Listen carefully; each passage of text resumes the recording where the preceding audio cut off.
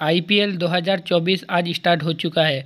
तो आज मैच हो रहा है चेन्नई सुपर किंग और रॉयल चैलेंजर बेंगलुरु के बीच। तो इसी मैच में मुस्तफिजुर रहमान पहली बार चेन्नई सुपर किंग के लिए खेल रहे और अपने पहले ओवर में ही लगातार दो विकेट लेकर उन्होंने दिखा दिया कि उनको अच्छा गेंदबाज कहा जाता है बांग्लादेश का।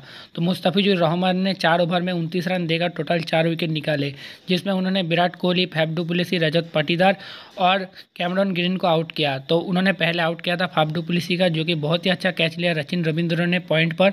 उसके बाद आउट हुआ रजत पाटीदार शून्य रन बनाकर और जब उन्होंने अपना दूसरा ओवर किया, तब दूसरे ओवर में उन्होंने आउट किया पहले विराट कोहली, उसके बाद कैमरन ग्रीन को। कैमरन ग्रीन को क्लीन बोल कर दिया, लेकिन आखिरी ओवर में उनको दिनेश कार्तिक ने थोड़ा फटे लगा दिया तो इसी वजह से ज़्यादा रन पड़ गए मुस्तफिजुर को और बेंगलोर ने एक सौ तिहत्तर रन बनाया है।